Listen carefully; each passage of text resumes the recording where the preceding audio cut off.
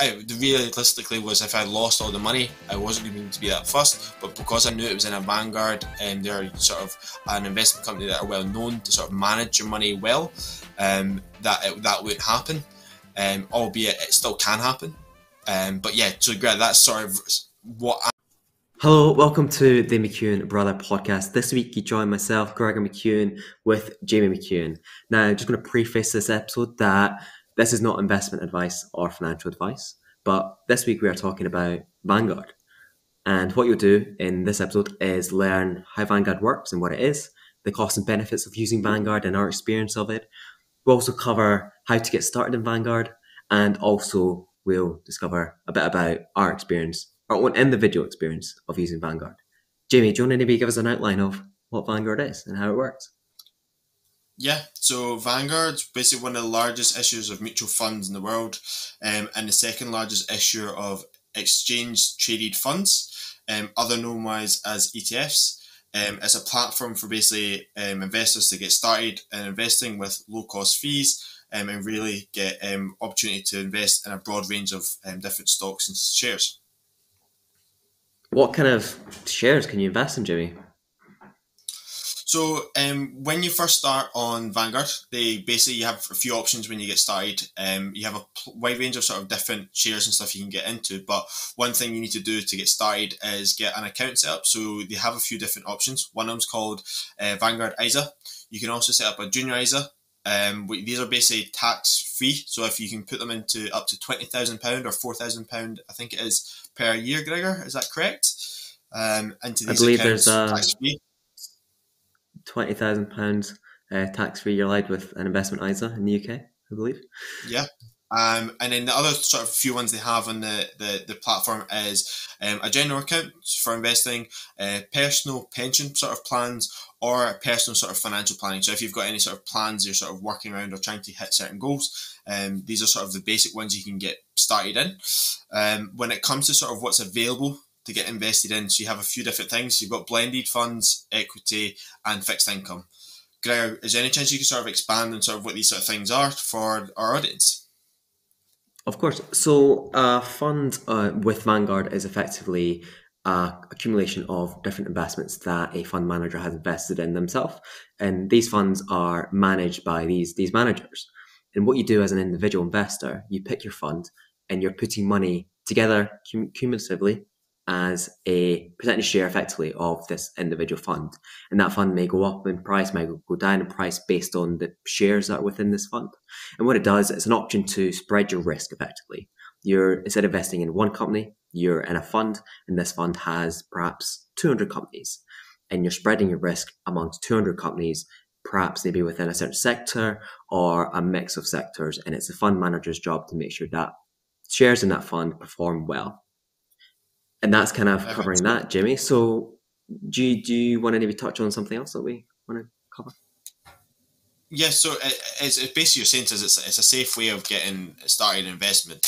Um, and one of the things that's the safe way of doing it, as you said, is like um, when I was saying exchange traded funds, that's that sort of balance of basically being to spread the cost of investing through a wide range of different stocks. Um, definitely a good way. Me and Gregor obviously have both have our accounts ourselves because that we wanted to spread the risk. We're not um, investors ourselves, so we're looking at sort of ways to get started, but be into a portfolio that's getting managed by a company that manages over you know millions of pounds every single year, every single month. They're constantly sort of um, keeping up to trades, knowing what's going on in the world, um, and making sure their, their investments are constantly growing um, year on year. So it's a perfect way, good way for an investor to get started to make that sort of money. Um, girl, with investing in the company, understand obviously everything platform when you get started, people get worried about fees, sort of how much it can cost to get into these sort of um, industry. Um, obviously, me and you have talked about before, sort of different investment platforms that we've used. Um, what's the sort of cost of investing through Vanguard. Yes, you're totally right. Some platforms cost you an arm and a leg just to invest in single stocks. And then you're like, that puts individual investors, newbies off because you maybe don't have all the money in the world and 10% of your investment is just going on an account fee or one investment fee. So this is why we are kind of echoing, uh, advertising. Uh, we back Vanguard as an option because effectively account fees are very low. Um, so uh, there's an ongoing account fee of 0.515% per year. There's a fund manage- management fee, which is kind of 0.22%. And then there's kind of additional fund transactional fees as well, which are kind of fees that the investment manager has as he's buying and selling shares within the fund. But everybody's accountable for this and you get a small fee for that as well. So these are small percentages. And just to give you an idea of what this is, Jamie, and how this could cost over a year. Say you had twenty thousand pound in your ISA, um, that would equate to kind of eighty two pound a year of fees. So very small, and because you know, ideally these funds are going up in value, you know, you're you're covering your costs already with that. There is actually um, a minimum account fee as well for getting set up. So like what you're saying, Jimmy. When you're setting up an account, all these different accounts you have options to. There's a five hundred pound minimum account fee. So obviously you have maybe have a, a little bit of cash to get set up, but once you're set up, you can set up direct debits as well to invest, uh, continue topping up your account and make sure investments are working for you or your cash is working for you effectively. There's there's a couple other things I think we need to make aware uh, people aware of, Jimmy. There's things called how kind of liquid is your cash. So basically, because you are investing, it's not a bank account where you can take money out the same day instantly. There is a kind of period, grace period, where if you do request money out of your account, it can take up to five working days. My me myself, you know, I've had experience with that. You know, got cash invested, you're thinking I need I need a bit of money out, or the money could be used elsewhere. So you ask, you request the money out, and it can take up to five working days. So that's worth knowing as well. How long to get started? You mentioned Jimmy getting started with these accounts. Um, they do say it can take up to three weeks just for the ver- verification documents to go through on their end. But from our experience, Jimmy, I'm sure you're well aware it's a lot quicker than that. Almost yeah, almost a couple of days, really, just getting started. Um, yeah, so, as yeah, I know you're totally right. As a beginner, um, anybody kind of thinking about investing in Vanguard, where where should they maybe start? So, um, in terms of getting started on um, Vanguard, um, obviously, as you said, you've got forms and stuff to fill out. So um, you can go obviously straight into the search Vanguard's um, website, and there'll be one of the first ones that come up. Um, and obviously just fill out the form, send out your data, um, and get started into it. But um, what sort of shares and what things would you get started in? Is that your sort of question, Greg? Is that what you're looking for? Yeah, like what would a novice invest in? So, um, in terms of sort of the different funds, as we talked about at the start, sort of the different um, spread and risk ones. So, you've got different ones, sort of like blended funds, um, is better than sort of individual stocks. So, say you were going on to sort of, sort of websites such as Freetrade, and you're looking to, you know, invest in like Tesla or Amazon and stuff like that, you can invest in them or you can do um, a blended fund, which we are talking about at the start. It basically spreads your risk over several different companies. Um, it's the idea of you know uh, you've got the S and P 500, you, you you're spreading your risk over 500 different companies that are sort of the highest performance uh, or you know sort of good ones to get started in um, and reduce the risk of you losing your money. Not to be said it can't happen, um, it's all about sort of where the market is going, overall trend that's kind of going on. But the other ones you sort of have in sort of Vanguard's options to get started are um, is called equity or fixed income funds. And um, these are the two different ones. Fixed, well, equity, sorry, I should start off with. Equity um, is basically the total sort of capital of uh, businesses divided into smaller units, known as an equity share.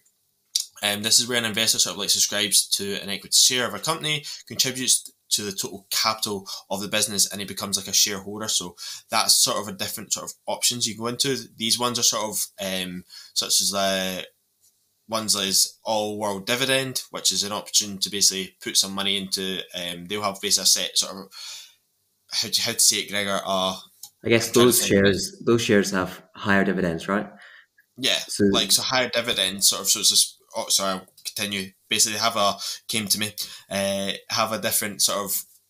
Each share has a dividend, and what they do is they invest that all world dividend yield is basically all companies that have dividends, and what they do is they create a market price for all these companies that they're invested in, and have an average dividend that they pay out from all of the companies. Um, the current um, number of stocks in that sort of one to give you an example is they invest over 1,700 different companies that all pay a dividend. So every sort of period throughout the year, you'll receive a dividend from your money that you've invested in that. Like the average price of their all world dividend in Vanguard is worth £48 and say the dividend's worth like 3%, you get, you know, 10, 20 pound, depending sort of um, how much money you've got invested sort of in that. That was not the best example. I completely understand that, but um, that sort of different ones you can get into. And then you also have ones called fixed income. Uh, fixed income is an investment approach used on our sort of preservation of capital and income. These are normally done in like sort of government and corporate bonds.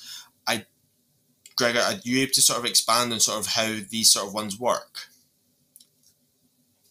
Yeah, so effectively, without getting into too much detail, a lot of uh, bonds that you can get are maybe issued by governments, and it's basically a loan that a government's issued to stock market, and you can invest in it. And if, ideally, these are uh, a couple years long before you can get money out, or um, there's basically more tie-in with your cash. So what Vanguard sometimes does, you have an option to invest in these as well, but it's mostly the blended funds that me and Jamie are in at the moment, where they use these fixed income to lower the risk of uh, an equities market share investment that you're talking about, Jimmy, with investing in companies. Because on the stock market, companies are more risky. But if you have a government issued bond, um, the idea is that you're guaranteed the payment at the end of your term. So it's less risk, right? So a blended fund basically will have like a portfolio of these two mixed, and you can kind of jump from like 20% all the way up to 100% uh, equity share. So you can have 100% in, in, com- in, companies within the market, and that's the they regard as the highest risk um, fund. And then you can have a 20% blended fund, which is mostly made up of bonds, uh, fixed income assets, where you're guaranteed to maybe get a return on your money. Now, with everything, risk carries reward. So the higher risk one ideally has performed better in previous years than the lower risk, higher bond uh, percentage funds. So, Jamie, do you want to maybe touch on your experience with choosing and maybe what you might advise? I guess we don't want to advise, but we want to maybe give everybody an outline of that mix. And do you think it's going to be better to spread your risk? I know you have shares in the dividends one, which is quite interesting. Can you touch on that? Yeah. Yeah, so obviously, uh, yeah, I've got the dividend one set up. That's just for myself. I, I want an income stream that's um, pretty consistent throughout the year. But the other one, as we are talking about the blended strategy, so in Vanguard, the sort of two sort of uh, main blended strategy ones that they have is called a lifestyle strategy. So we've got a hundred percent lifestyle strategy, and then we've also got a retire retirement target one. The one that me and Gregor are invested in is a hundred percent lifestyle strategy, which is one of the highest risk one um, that they have. This one's uh, sort of an 80-20 split between stocks and bonds. Um, with that, obviously, inherits sort of more risk of it, you know, going more volatile, so we can lose sort of how much sort of money that we've got invested in it. Um, but one of the things that took me with the reason why I went with this one is uh, bonds in terms of sort of inflation and sort of um, even just um, the standard sort of inflation we have every year. Um, the lower one might have not actually do cover the sort of inflation. So what it would be is wouldn't make as much money, albeit it's less risk. So I've got an option to basically make the same money. So, so we went for the 20% lifestyle strategy one, which is 80% bonds, 20% shares. I could have made um, enough money to cover inflation, so my money's not lost anything, and I've made maybe a little bit extra. But what I was looking at is, as a young individual, being only 21, thinking the money for me at the moment isn't too precious. I'd rather take the higher risk to sort of opportunity to actually have more money, to make more money within the year. Um, I've seen that um, if I, realistically was if I lost all the money, I wasn't going to be that fussed. But because I knew it was in a Vanguard, and um, they're sort of an investment company that are well known to sort of manage your money well, um, that it, that wouldn't happen. Um, albeit it still can happen. Um, but yeah, so Greg, that's sort of what I reason that's I went for. I went for hundred percent lifestyle strategy because I thought I'd rather have the higher risk to sort of cover sort of the aspect of inflation. So you know, if you have money hundred pound in the bank last this time last year and you've not done a single thing with it, that money's technically worth less now due to inflation. So my thought was, may as well stick it into something such as um, Vanguards to get started in, um, because I know that that money is not going to be worth. It's going to be a higher chance of being worth more than leaving it. Definitely, so I, that's where that I'm going with back. it. Mm-hmm. Sorry. I was going to say that. I guess that comes back to our reasons for using Vanguard and just in general investing. I'm thinking from somebody who's maybe not had experience of investing, uh, it's quite daunting, really. And I guess if you have somebody to bounce ideas off with, like you investing in the dividend or world dividend uh, fund, Jamie, you know, it's quite interesting from my point of view, being like, oh, why are you doing it? What's your idea around it? And you just explained it there quite well, I think. Now, I don't haven't invested in that fund myself, and you know, it makes me think. So I think as a piece of advice for somebody looking to get started, maybe have somebody you can bounce ideas off with, uh, set up the account together, um, you know, put a bit of cash together aside, and maybe have a catch up once a week as an idea, and be like, "What are you doing? What's your plan?" And that means that you know you're not alone in in your journey investing. I, I know me and Jamie do it, and I think it works quite well. What's your thoughts on that, Jamie? Would you advise perhaps an investment partner almost? I don't. I wouldn't say an investment partner. I just think it's good to have someone to chat with because if you're saying a partner, you're you're almost saying are you're investing with them. But I would do it as a, a if you know someone in your family or someone that you're related to or are friends with that has done investing for even for a few years. See what they're up to. See how they're getting on ask them questions, and just learn, taking the information. And obviously, we're just providing our advice because me and Greg have done it for, you know, how long have we been doing it now? Three years, Gregor? A couple of years? Yeah, probably probably up to three years now. Um, not not that long, up to three years. but um, it's it's definitely you know being able to learn and kind of understand how the how it works basically uh, to a level that allows us to talk about it. I think now we also want to touch on how we use it for myself. I'm currently using it as a means to basically maintain uh, above inflation uh, growth for my money, whereas the banks are providing like less than 1%. They're like, oh, I need to put my money somewhere else. So I'm using it for that, but I'm also using it as a place to perhaps save for a property. Uh, so first home fund basically.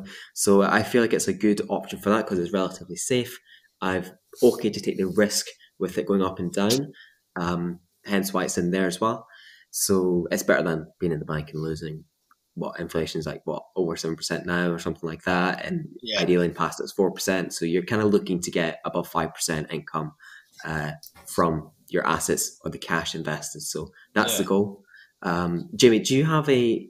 I've touched on why maybe I've used it. Do you do you have a yeah. goal in mind? Because obviously that's what imp- is important.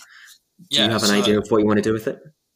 I think it's really interesting to say that you've obviously so you like we've me and you have discussed this before, had plenty of conversations. Obviously, like your goal is using that money to put down a down payment on either one or two properties, or just get yourself started in the sort of um, owning a property or getting yourself on the ladder, as you would say.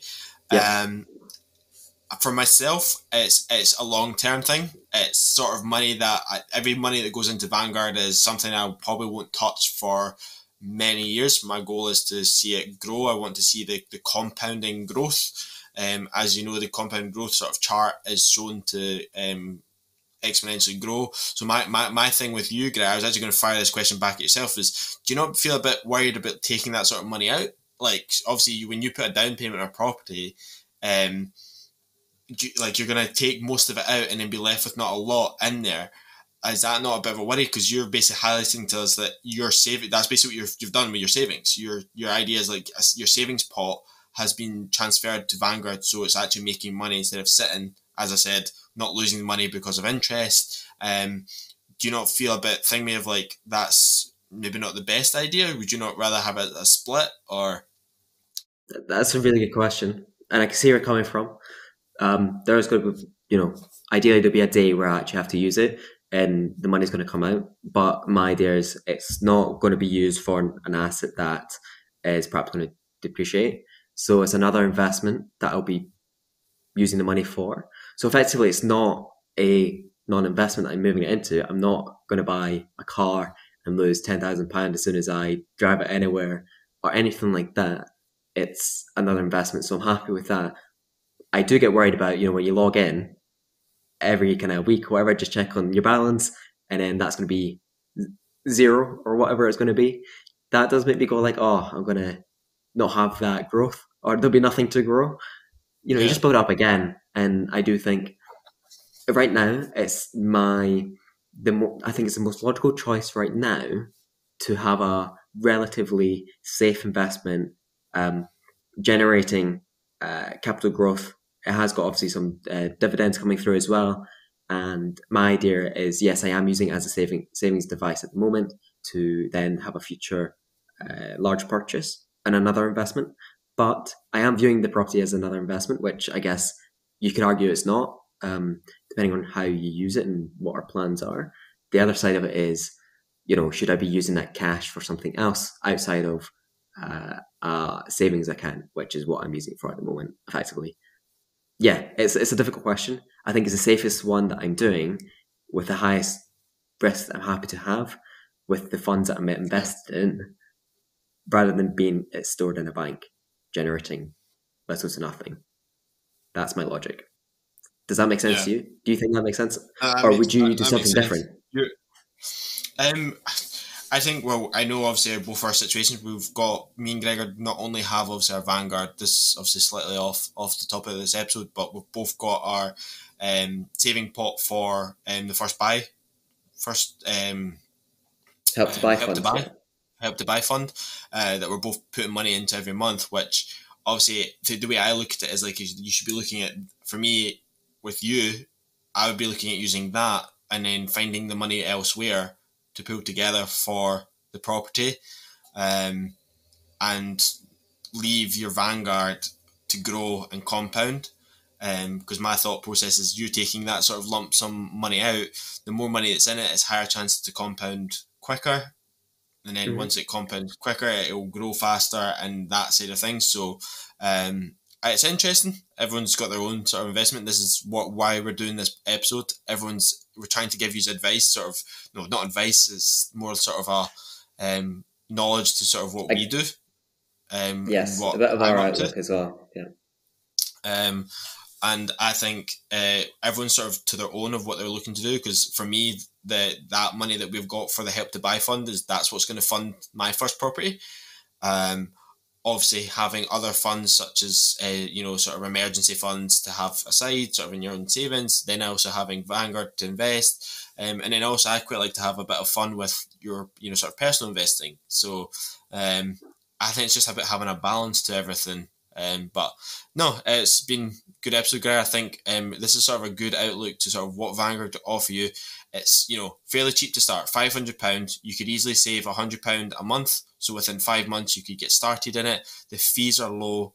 It's a really simple strategy to get into it if you want to get started in something. The lifestyle strategy ones are really good to um, sort of get started on. They're a good blend of sort of bonds and stocks. You can read into them as well. So if you want to download their um, key investor information for each one, you can do that.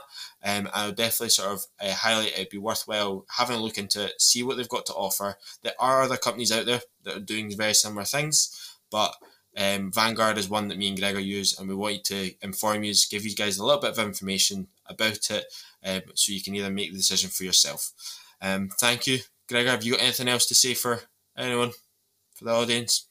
I just want to say, yeah, Jamie, you've summed up lovely there. And yeah, so we've covered a bit about how we use it, um, what it is, and how we plan to use it going forward. And obviously, we'll probably have an update later on in the year regarding our investments and what we're doing with our money at the moment. And that's most likely going to change. So yeah, stay in the loop. Um, you'll get an update uh, at some point in the year regarding how we're still using Vanguard and perhaps maybe other tools that come out as well and other investment strategies that me and Jamie are doing at the moment as well, which I think could be quite interesting. Um, thanks again Yeah. for hanging around, and hopefully we'll tune in next week and we'll have you back as a listener listening in. Um, check our description of the episode. We'll share some resources for you uh, to give you an outline of where to get started as well if you're interested. And yeah, thanks again for listening. Thank you, guys. Have a lovely evening, morning, or good afternoon. See you later. See you later.